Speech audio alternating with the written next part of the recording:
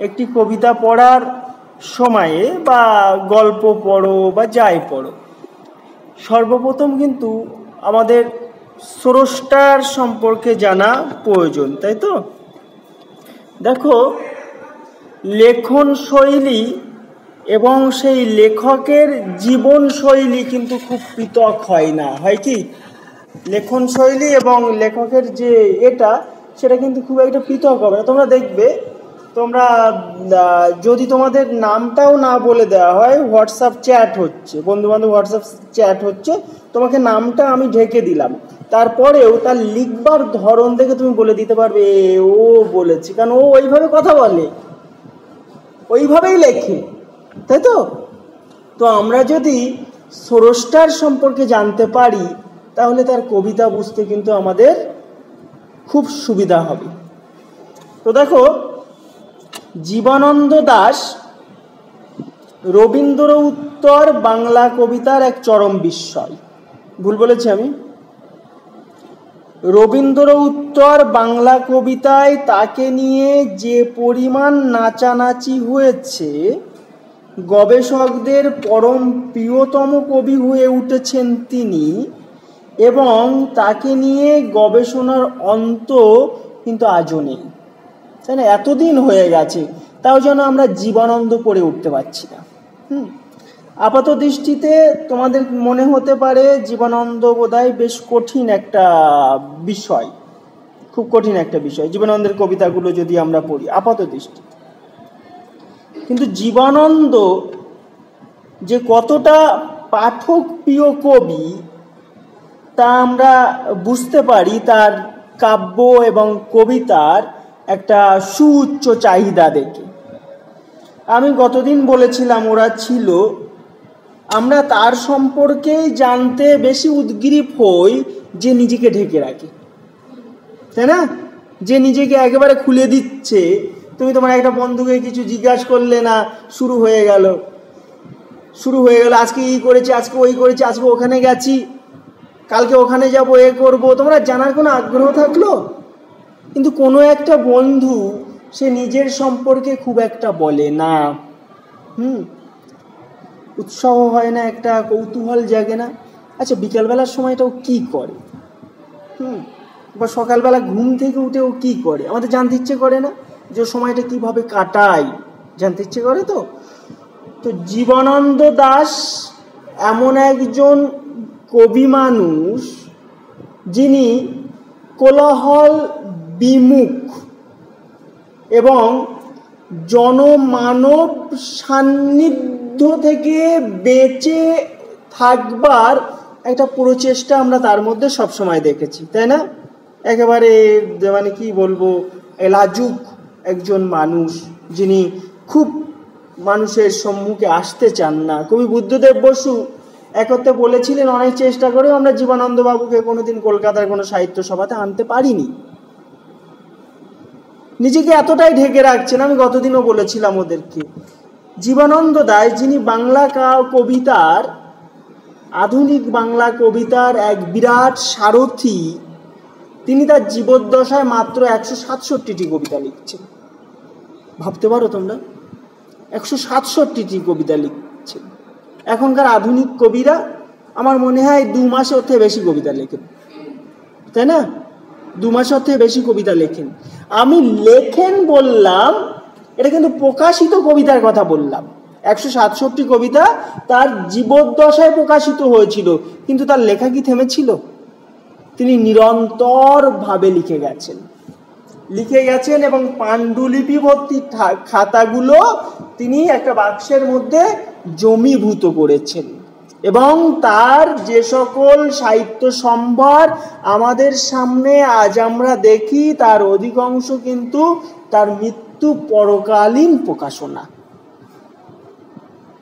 এবং তোমরা ভাবলে অবাক হবে যে মানুষটাকে নিয়ে আজকের দিনে এত বিশাল চর্চা হচ্ছে, সেই মানুষটার নিজের কবিতা নিজেকে প্রকাশ করতে হচ্ছে। নিজের কবিতা নিজেকে প্রকাশ করতে হচ্ছে। শঙ্ক শক্তি, এরা কখনো নিজের কবিতা নিজেরা প্রকাশ করবে? করবে কি? তোমরা বইমেলাতে জিজ্ঞাসা নিশ্চয়ই। তো সেখানে দেখবে জয় গোস্বামীর কবিতার বই কিনতে গিয়ে সেই ওখান থেকে একটা লম্বা লাইন আসছে। প্রায় এক হাজার মানুষ লাইন দিয়ে দাঁড়িয়ে আছে। আমরা রেশম তুলি না অতটা লাইন দিয়ে। এক হাজার মানুষ লাইন দিয়ে দাঁড়িয়ে আছে, জয়ের কবিতা কিনবে। এবার কোনো প্রকাশক যদি বলে, আপনার কবিতা আপনার টাকা দিয়ে ছাপাতে হবে। জয় গোস্বামী গোস্বামী কি ছাপাবেন? তো উত্তর আধুনিক কালের এমন একজন মহান কবি, অথচ নিজের কবিতা তাকে নিজে ছাপাতে হয়েছে। মৃত্যুর কিছুদিন আগে সিগনেট পেরেস তাদের নিজের খরচে বনলতা সেনের দ্বিতীয় সংস্করণটি প্রকাশ করেছিলেন। দেখে এমনটি তোমাদের মনে প্রশ্ন উঠতে পারে যে এমনটি কেন হলো? এমনটি কেন হলো? দেখো অ্যাডভান্স কোনো একটা বিষয় যদি এসে যায়, তাহলে আমরা কিন্তু খুব সহজে আত্মীকরণ করতে পারি না। তাই না? প্রথম যখন ওই চার্লস ব্যাবেজ কম্পিউটার আবিষ্কার করলেন, একদম প্রথম। একটা মডেল আসলো, দ্বিতীয় মডেল আসলো, তৃতীয় মডেল আসলো চার নম্বর মডেলের সময় এই এখনকার ল্যাপটপ যদি সেই সময় ঢুকিয়ে দেওয়া হতো, কেউ কি অপারেট করতে পারতো? পারতো অপারেট করতে? তো জীবনানন্দ এই ল্যাপটপের মতো। তখন সেই রবীন্দ্র ঘরানা চলছে, নজরুল ঘরানা চলছে, সত্যেন্দ্রনাথ মহিতলালরা বেঁচে পড়তে রয়েছেন। হঠাৎ করে জীবানন্দ এলেন একটা উত্তর আধুনিক ধারা নিয়ে। তাই না? দেখো, রবীন্দ্রনাথ যখন রয়েছেন, তার একটা বিরাট আলোকদূতি নিয়ে তখন নজরুল তার নিজস্ব একটা বিদ্রোহাত্মক ভাবনা বা একটা ঘটনা নিয়ে তিনি একটা আলাদা আদল করেছিলেন, তৈরি করেছিলেন। এবার সেই সময় কবিদের খুব কঠিন একটা সময় ছিল। সেই সময় কবিদের বাঁচতে গেলে তার একটা নিজস্বতা থাকতে হতো। তাই না? সর্বকালে। তোমার মধ্যে যদি নিজস্বতা না থাকে। তুমি যদি অন্যের মতো মাথা আঁচড়াও, তুমি যদি অন্যের মতো সাজো, অন্যের মতো পোশাক পরো, অন্যকে অনুকরণ করো, তাহলে কি তুমি কখনোই যথার্থ সম্মান পাবে? পাঠান সিনেমার একটা গান ভাইরাল হচ্ছে না? পাঠান সিনেমার একটা গান গান ভাইরাল হয়েছে পাকিস্তানে একজন নকল শাহরুখ খান আছে। দেখেছ তোমরা? পাকিস্তানে একজন নকল শাহরুখ খান আছে, সে পাঠান সিনেমার ওই কি ঝুম যারা নাকি ওই গানটা আছে না, ওই গানটা নিয়ে ও পেলে করেছে আর কি, পেলে করে খুব ভাইরাল হয়ে গেছে। আচ্ছা কোনো প্রডিউসার কি শাহরুখকে বাদ দিয়ে ওই নকল শাহরুখকে নিয়ে কোনো সিনেমা করবে? জেরাক্সের কোনো মূল্য আছে? জেরাক্স করলেও তোমাকে অ্যাটিস্টেড করতে হয় সেলফ অ্যাটিস্টেড করে নিজের সইটা করতে হয়। তাই না? যদি কোনো দিন তুমি ধরো ভুল তথ্য দিলে তার কাউকে মিসগাইড করলে, তাহলে ওই তুমি সেলফ অ্যাটিস্টেড করেছ মানে ওর সমস্ত দায়ভার তোমার। তোমার জেলও হতে পারে। তাই না? জেরাক্সের কোনো মূল্য আছে? যার কারণে আমরা মোহিতলাল মজুমদার, সত্যেন্দ্রনাথ দত্ত, যতীন্দ্রনাথ সেনগুপ্ত যতীন্দ্রনাথ সেনগুপ্ত কিছুটা তার মধ্যে মৌলিকত্ব ছিল। কুমুদ রঞ্জন মল্লিক যারা ছিল, তাদেরকে নিয়ে কি আমরা আমাদের কালে এসেছি? কারণ তারা রবীন্দ্রনাথের জেরাক্স তাদেরকে আমরা নিইনি। জীবনানন্দ দাস, তিনি কিন্তু একটা অন্য ঘরানা নিয়ে আসলেন। এবং আমি তোমাদের আর একটা কথা বলব জীবানন্দ পড়তে গেলে আমাদের কিন্তু তার সময়টাকে বিচার করতে হবে। কোন সময়ে তিনি পৃথিবীর বুকে হেঁটে বেরিয়েছেন, সেইটা কিন্তু আমাদেরকে মনে রাখতে হবে। বনলতা কবিতার প্রথম চরণই আছে, হাজার বছর ধরে আমি পৃথিবীর পথে হাঁটিতেছি। তাই না? হাজার বছর ধরে। আচ্ছা তোমাদেরকে মনে হতে পারে যে মানব জীবন মাত্র একশো বছরের। কবি কি মানে মাথা টাথা গেছে কবির? তিনি বলছেন, হাজার বছর ধরে আমি পথ হেঁটেছি, সেই অশোক বিম্বিশ্বরের কাল থেকে আমি পথ হেঁটেছি। তোমাদের কি মনে হয়? তিনি কি ভুল বলেছেন? অযৌতিক কথা বলেছেন? দেখো, আমরা একটা ধারা বয়ে নিয়ে যাই না? বহমনতা একটা ধারা বহে নিয়ে যায় না? তো কবিত্বের কিন্তু একটা ধারা আছে। পার্থিবভূমের সৃষ্টির পর থেকেই এই সকল ক্রিয়েটিভ মানুষরা তাদের নিজস্বতা, তাদের চিন্তা, চেতনা সমস্ত কিছুর মধ্য দিয়েই এই পৃথিবীটাকে একটা সুস্থ পথে চালনা করতে চেয়েছে। তাই না? কালিদাস আর আমাদের জীবানন্দের মধ্যে কোনো পার্থক্য আছে? কালিদাস জীবানন্দের মধ্যে কোনো পার্থক্য আছে? বাল্মীকির সঙ্গে আমাদের মাইকেল মধুসূদনের কোনো পার্থক্য আছে? তারা প্রত্যেকেই তো সত্য সুন্দরের আরাধনা করেছেন। তাহলে বা জীবনানন্দ কি ভুল বলেছেন? তার পূর্বসূরি বাল্মীকি, তার পূর্বসূরি ভবভূতি, তার পূর্বসূরি কালিদাস, তার পূর্বসূরি মধুসূদন, তার পূর্বসূরি রবীন্দ্র নজরুল, তারপরে জীবনানন্দ জয়, শঙ্খ, শক্তি, চলছে চলছে চলছে, এই ধারাটা চলছে। তাহলে কবিতা হাজার বছর ধরেই পথ হাঁটছেন। কবির মানুষ গঠনের কি কোনো পরিবর্তন হচ্ছে সেদিনও মানুষ, সেদিনও কবিগণ অন্যায় অত্যাচারের বিরুদ্ধে কথা বলেছেন। জীবনানন্দের সময়েও বলেছেন, এখনকার সময়েও বলছেন এবং আগামী দিনেও বলবেন। ফলে কবিরা কিন্তু একটা চলমান সত্তা। আমরা কথা বলতেই পারি। ফলে জীবনানন্দ পড়তে গেলে আমাদেরকে প্রথমে তার সময়টা জানার দরকার। কোন সময়ে তিনি পৃথিবীর বুকে হেঁটে বেরিয়েছেন। দেখো, দু দুটো বিশ্বযুদ্ধ হয়েছে। তাই না? বলতো কত সাল থেকে কত সাল পর্যন্ত? প্রথম বিশ্বযুদ্ধ? উনিশশো চোদ্দ? আঠারো। আঠারোর মাঝামাঝি সন্ধিটা হয়েছে, ভারসাই সন্ধি, কিন্তু আমরা উনিশই ধরি আর কি। পরিসমাপ্তি হতে আমরা পুরোপুরি উনিশটা ধরি। কিন্তু আঠারোই শেষ হয়ে গেছিল যুদ্ধ। আর দ্বিতীয় বিশ্বযুদ্ধ? উনচল্লিশ থেকে পঁয়তাল্লিশ। উনচল্লিশ থেকে পঁয়তাল্লিশ। তো দু দুটো বিশ্বযুদ্ধ তিনি দেখেছেন। আচ্ছা বিশ্বযুদ্ধ বা যে কোনো যুদ্ধ, কি নিয়ে আসে বলতো শান্তি, সৌহার্দ্য নিয়ে আসে? ধ্বংস নিয়ে আসে? অনাহার নিয়ে আসে? অরাজকতা নিয়ে আসে? তাই তো? খুব স্বাভাবিকভাবে।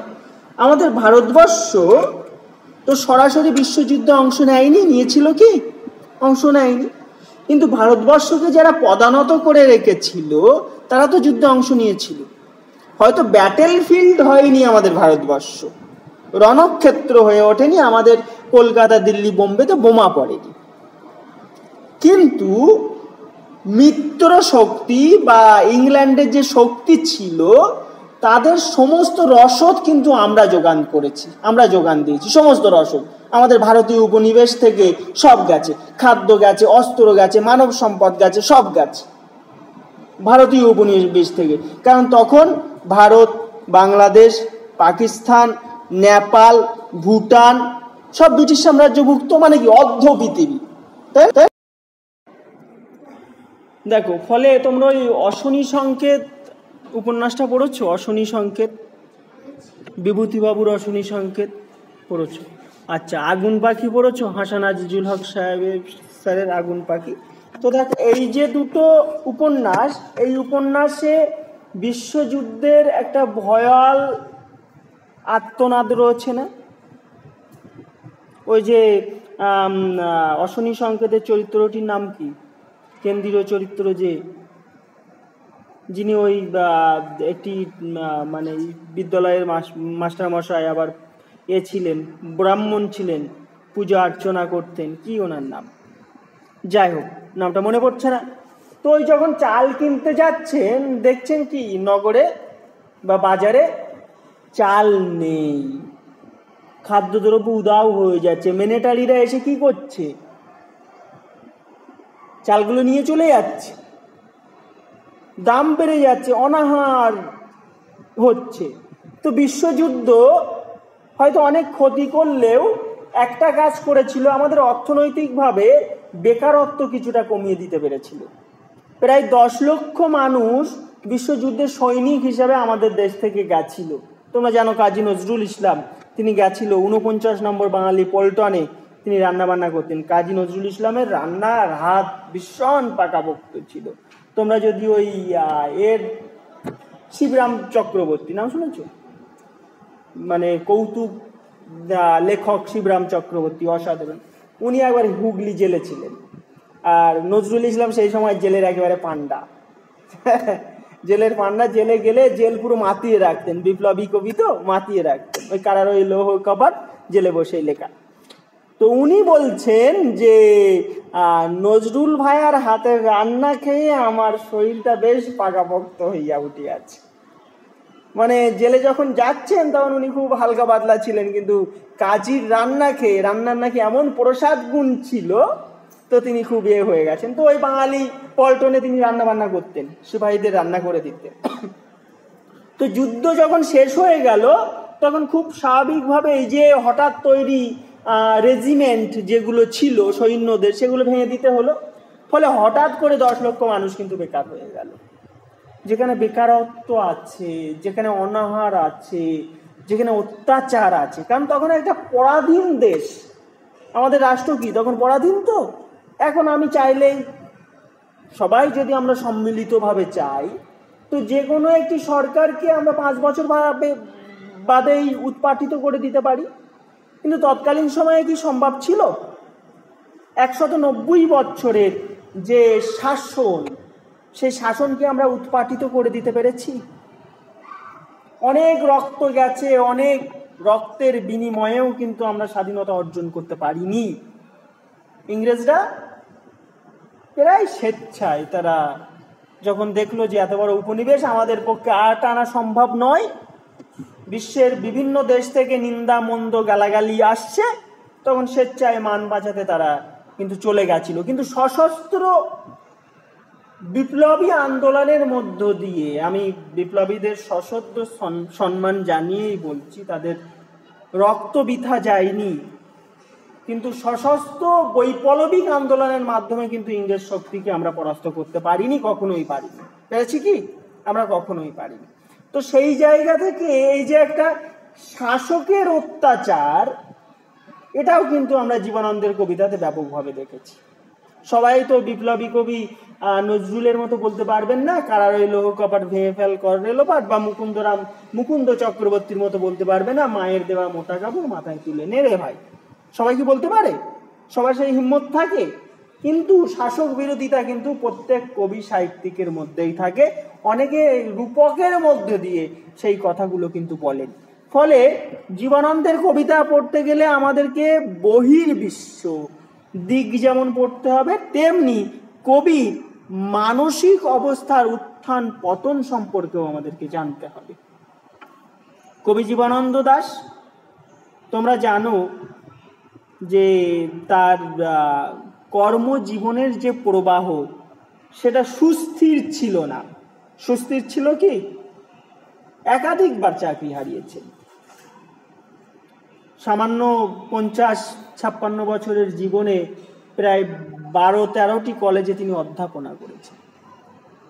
মানে কি? তিনি বরখাস্ত হচ্ছেন, দুই মাস করছেন, চার মাস করছেন, ছয় মাস করছেন, বরখাস্ত হয়ে যাচ্ছেন। আমি গতদিনই ওদেরকে বলছিলাম যে একজন নিশ্চুপ মানুষ যিনি বৈঠক মজাতে পারেন না, যিনি খুব বেশি আড্ডাবাজ না, যিনি মানুষকে মানে তৈলক্ত করে রাখতে পারেন না। কিছু কিছু মানুষ আছে না, অন্যদেরকে তৈলক্ত করে রাখে। তো ফলে সেই মানুষটির উপরে শাস্তির খাড়া পড়বে সেটা কিন্তু খুব স্বাভাবিক, তাই না? এবং দ্বিতীয়, মানুষটির নারী ভাগ্য কিন্তু খুব একটা ভালো ছিল তাই না? নারী ভাগ্য খুব ভালো ছিল না। তার কাঙ্ক্ষিত নারী যিনি, তিনি যাকে ভালোবেসেছিলেন, যার সঙ্গে ঘর বাঁধবেন, স্বপ্ন দেখেছিলেন, তাকে তিনি কিন্তু নিজের ঘরের ঘরণী করে তুলতে পারেননি। যার সঙ্গে তার বিয়ে হয়েছিল, তার সঙ্গে তার মতের বোধহয় এক আলোকবর্ষ দূরত্ব ছিল। তাই না মতের মিল না হলে এটা সম্পর্ক কি টিকবে আচ্ছা সম্পর্ক টেকা আমরা কাকে বলি? কাকে বলি? তুমি সাইকেল চালাচ্ছ, সাইকেলটা লিক হয়ে আছে, তারপরেও তুমি চালিয়ে নিয়ে যাচ্ছ, তুমি নিয়ে যেতেই পারো। আর একটা সাইকেলে একেবারে টাইটম বুট পাম্প আছে, তুমি সেই সাইকেলটা চালাচ্ছ, তোমার কোনটা চালাতে ভালো লাগবে? যেটা পাম্প আছে সেটা চালাতে ভালো লাগে দুটোই তো চলছে। তো জীবনের সম্পর্কটা ওরকম কারণ লিক গাড়ি ওইভাবেই চলছে চলছে চলছে। আরও কারও কিন্তু খুব ফুর্তির সঙ্গে চলছে। তো জীবনানন্দের সম্পর্কটা ছিল রিক গাড়িতে সওয়ার হওয়ার মতো। তাই না? একটা মানুষ আত্মিকভাবে বিপর্যস্ত হয়ে রয়েছে। আমরা অনেক সমালোচক, আমি ব্যক্তিগতভাবে দেখেছি, অনেক সমালোচক তারা বলেছেন, লাবণ্য দাসকে তারা বিভিন্ন রকমভাবে ক্ষোভ উগড়ে দিয়েছে লাবণ্য দাসের প্রতি। আমার একটি কাজ রয়েছে। দুর্ভাগ্যবশত ওটা একদম প্রথম দিকের কাজ আমার। কিন্তু এখনও পর্যন্ত প্রকাশিত হয়নি জীবনানন্দ দাস সম্পাদকের চোখে। প্রশাসন কথা হয়েছে, কিছুদিনের মধ্যে হয়তো প্রকাশিত হবে। তো সেখানে আমি দেখেছিলাম বিভিন্ন সমালোচক। লাবণ্য দাসকে একেবারে সেই গালিগালাজ পর্যন্ত করেছেন যে কবির যে একশো সাতষট্টিটি কবিতা প্রকাশিত হচ্ছে এবং তিনি লুকিয়ে কবিতা লিখতেন। এবং তিনি যে একটা পুরস্কার পেয়েছিলেন। এটা গল্প করি তোমাদের সঙ্গে। একটা পুরস্কার পেয়েছিলেন উনি। পুরস্কার পেলে সেটা খাটের তলাতে লুকিয়ে রেখেছিলেন। আমরা কি করি? একটা মেডেল পেলে, একটা মোমেন্টো পেলে, একেবারে সাজিয়ে, একেবারে যাতে যে সে ঢুকে একেবারে সঙ্গে সঙ্গে প্রথমে দেখে বাবা, কি জিনিস রে হ্যাঁ তাই তো করি। কিন্তু উনি খাটের তলায় লুকিয়ে রেখেছেন। ওনার কন্যা মঞ্জুশ্রী। খাটের তলায় ওই বলটল চলে যায় না অনেকের? বলটল চলে যায়, এ করতে, ও করতে দেখে। তো বাবা, এ তো খুব সুন্দর একটা জিনিস। হ্যাঁ তো নিয়ে বার করেছে। তখন বোঝা গেল কবি সেই পুরস্কারের মেমেন্টোটা ভিতরে লুকিয়ে রেখেছি। তার মানে কতটা ভীত সন্তুষ্ট তিনি ছিলেন যে সব কিছুই তাকে লুকিয়ে করতে হতো। ধরো কবি পত্নী রান্নাঘরে রান্না করতে গেছেন, হেসেলে লবণ নেই, হলুদ নেই, আরও প্রয়োজনীয় জিনিসপত্র নেই। কবি তখন লেখার টেবিলে বসে কবিতা লিখছেন। কি? লাবণ্য দাস তখন ওদিক থেকে বলছে, কাব্যি হচ্ছে কাব্যি। সংসারে সব পুড়িয়ে গেছে আর তোমার কাব্যি হচ্ছে। তো সেই জায়গা থেকে একটা মানুষ গঠনগত দূরত্ব তাদের মধ্যে ছিল। আমরা যদি যারা বৈষয়িক মানুষ, তারা কিন্তু লাবণ্য দাসের প্রতি খুব একটা বিষোদ্গার করতে পারি না। করতে পারি কি? খুব একটা বিষোদ্গার করতে পারি না। তো কবির ভাগ্যটাই খারাপ ছিল, উনি উইদাউট বাজেট এই যে বাজেট ঠিক করা হয় না বাজেট ঈশ্বর বোধহয় ওনাকে বাজেট ছাড়াই পাঠিয়েছিলেন। দুইজন কবি আছেন, আমি তোমাদের গতদিনও বলেছিলাম। মানিক বন্দ্যোপাধ্যায়, নাম শুনেছ তোমরা? অসাধারণ প্রতিভাবান একজন লেখক। বাংলা সাহিত্যে বোধ খুব বেশি হলে চার পাঁচজন তার সমকক্ষ লেখক আছে। আমি রবীন্দ্রনাথকে ছেড়ে দিলাম। ওনার সঙ্গে, কারোর সঙ্গে ওনার কম্পেয়ারই হয় না। তাই না? উনি এক সূর্য সম মানুষ। কিন্তু মানিক বন্দ্যোপাধ্যায়ের সমকক্ষ লেখক কিন্তু পাঁচ, ছয় জনের বেশি পাওয়া যাবে না। কিন্তু সেই মানুষটা সারা জীবন অতি দরিদ্র বেশে জীবনযাপন করেছে। মিরিগি রোগ ছিল, চিকিৎসা হয়নি, খুব অল্প বয়সে মৃত্যুবরণ করেছেন। একেবারে তাকে হসপিটালাইজ করতে হবে। দাদার কাছে টেলিগ্রাম করা হচ্ছে যে কিছু ধার টাকা ধার পাঠান। মানিকের স্ত্রী টেলিগ্রাম করছে, কিছু টাকা পাঠান। দাদা মানিক বন্দ্যোপাধ্যায়ের দাদা বলছেন, আমি আত্মীয় স্বজনকে ধার দিই না। আমি আত্মীয় স্বজনকে ধার দিই না। ফলে কবির চিকিৎসাও হয়নি। বিনা চিকিৎসায় তিনি মৃত্যুবরণ করেছেন। তো এই দুইজন কবি যাদেরকে মৃত্যু পরবর্তীকালীন সময়ে যাদেরকে নিয়ে খুব নাচানাচি হয়েছে। কিন্তু জীবদ্দশায় তারা যখন বেঁচে ছিলেন তাদেরকে নিয়ে কিন্তু কোনো রূপ আলোচনা হয়নি। এবার আমি তোমাদের বলব কেন আলোচনা হয়নি, এই বিষয়টা আমি বলব। ওই যে আমি বললাম না, হঠাৎ করে যদি একটা নব মতাবাদ আসে, হঠাৎ করে একটা নব মতবাদ আসে, এই যারা আমাদের ধর্ম প্রচারক যারা ছিলেন, যাদেরকে ঈশ্বর নির্বাচন করে পৃথিবীতে পাঠিয়েছিলেন, বিভিন্ন ধর্মের প্রবর্তক আছে আচ্ছা কেউ কি, কারও কি যখন তারা মত, তাদের মতদর্শটা প্রচার করলেন, সব মানুষকে সাগ্রহে তাদেরকে বুকে টেনে নিয়েছিলেন? মেনে নিয়েছিলেন? মেনে নিলে আর যিশুকে কুশবিদ্ধ হতে হতো না? হতো কি? কুশবিদ্ধ হতে হতো না। আরও যারা আছেন, তাদের প্রতি অত্যাচার, অবিচার হতো না। ফলে একটা নতুন যে কোনো বিষয় একটা নতুন একটা মতদর্শ যদি তোমরা নিয়ে আসো কেউ যদি নিয়ে আসে, দেখবে গ্রামের দিকে গ্রামের দিকে, একদম গ্রামের দিকে, হুম? জিন্স প্যান্ট পরে একটা মেয়ে হেঁটে যাচ্ছে রাস্তা দিয়ে। একদম রুলার যে এরিয়া সেখানে বেশিরভাগ মানুষ ধরো মাঠে চাষবাস করেন বৌঝিরা বাড়িতে থাকেন, কাজবাজ করেন। আর বকাটে ছেলেগুলো রাস্তায় বসে দশটা নাম্বার মিলিয়ে মেয়েদের কাছে ফোন করে।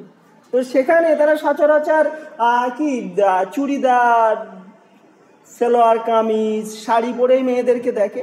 হঠাৎ করে কলকাতার কোনো একটা সাহেবিয়ানা মেয়ে যদি গ্রামের রাস্তা দিয়ে জিন্স প্যান্ট পরে হেঁটে যায়, তাহলে কি হবে? বিষয়টা একেবারে কি অদ্ভুত কিম্ভূতকার হয়ে যাবে না?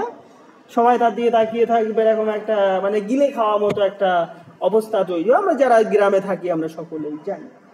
তো নতুনত্ব বিষয়টা কিন্তু মানুষ খুব সহজে অ্যাকসেপ্ট করে না।